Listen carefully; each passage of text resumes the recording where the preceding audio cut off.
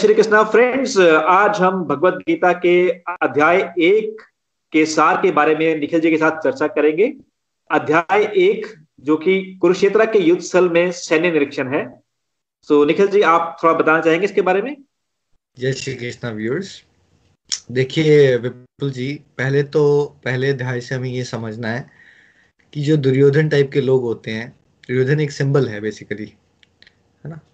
वो क्या रिप्रेजेंट करता है कि जो नास्तिकवादी सोच होती है, अहंकारी मनुष्य होता है, वो कैसे घमंड में रहता है और हमेशा भगवान की प्रेजेंस को इग्नोर कर देता है। वो हमेशा ये सोचता है कि मेरे पास ज़्यादा पैसे होंगे, ज़्यादा प्रॉपर्टी होगी, ज़्यादा लोग मुझे जानते होंगे, पहचानते होंगे तो मेरा काम बन जाएगा, मैं ज़िंदगी में सफलता पालूँगा। लेकिन जैसे जब शंख बजते हैं तो दुर्योधन उसके भाइयों को डर लगता है। उसका ये मतलब है कि बाहर से जो दुनियादारी के लोग होते हैं, जो नास्तिक होते हैं, प्रभु में नहीं विश्वास रखते, बाहर से बड़ा अडंबर करते हैं कि बड़े स्ट्रांग हैं बट अंदर से बड़े कमज़ोर होते हैं। क्योंकि सेना तो कौरवों की बहुत बड़ी है, लेकिन पांडवों की बहुत छोटी है। लेकिन पांडव जो है वो भगवान श्री कृष्ण के शरण में है। इसलिए कहीं ये नहीं बताया गया कि उनको डर लगा। यानी कि निर्भयता आती है प्रभु की शरण से। पैसा इकट्ठा करने को से निर्भयता कभी नहीं आएगी। ये पॉइंट समझना है हमें।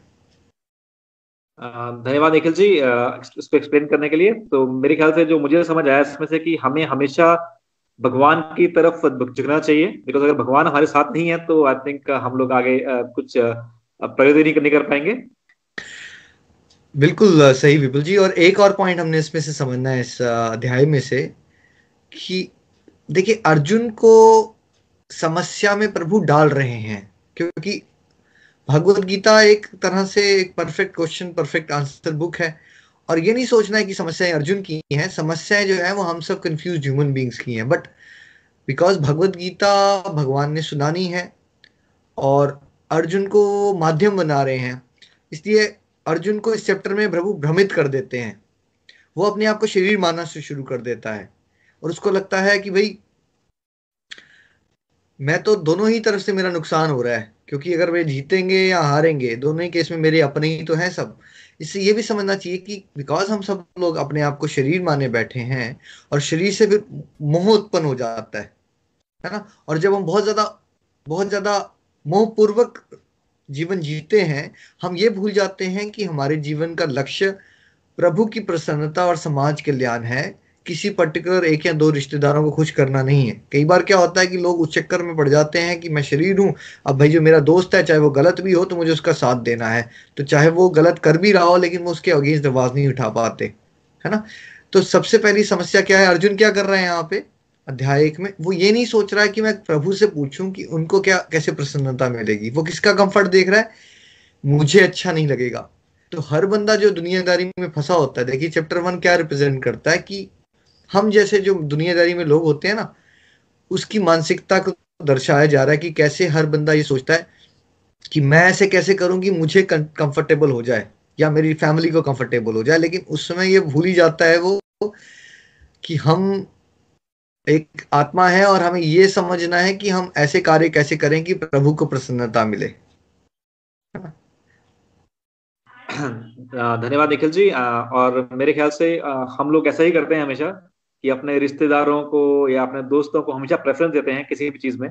और ये भूल जाते हैं हम कई बार कि, कि प्रेफरेंस उनको नहीं देनी चाहिए प्रेफरेंस देनी चाहिए जो डिजर्व करता है जो जो उसके लिए काबिल है। तो मेरे ख्याल से ये एक बहुत अच्छी लर्निंग है इस इस इस टेक्स्ट से। बिल्कुल और एक और लर्निंग इस अध्याय से हमें लेनी है वो है मन का जो चंचल नेचर है। देखिए पांडवों को और अर्जुन को कब से पता था कि युद्ध होगा?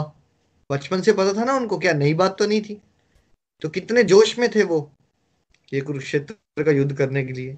तो फिर ये एक दो मिनट में क्या हो गया? मन भ्रमित हो गया।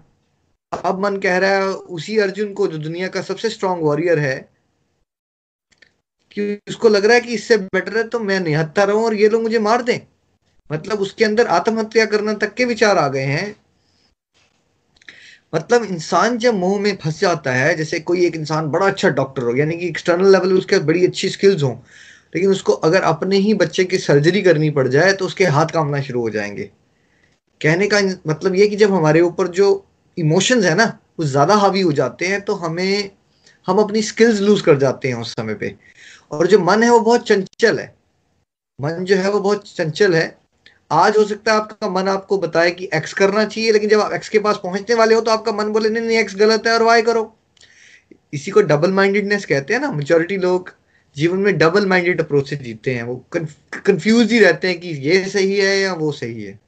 तो ये भी चैप्टर वन मेजोरिटी की मानसिकता को दर्शाता है तो इसलिए कंफ्यूजन की स्टेज में ज़्यादातर लोग रहते हैं। निखिल जी सही में ऐसा होता है और ये मेरे साथ, ये मेरे साथ भी होता है और आज, और मेरे ख्याल से जितने भी व्यूअर्स को देख रहे हैं उन सबके साथ भी होता है कि हम हमेशा डबल माइंडेड रहते हैं और करना कुछ चाहते हैं और हो कुछ और जाता है।